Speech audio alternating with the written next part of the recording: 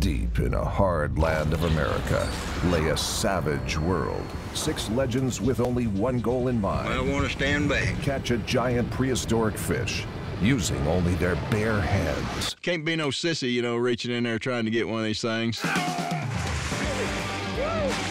It's almost like a freshwater shark attack. In a competition to prove who is the best. I want to feel the pain. That's what I like. Fighting, bleeding, and winning. Mudcats. Exclusively on Planet Earth.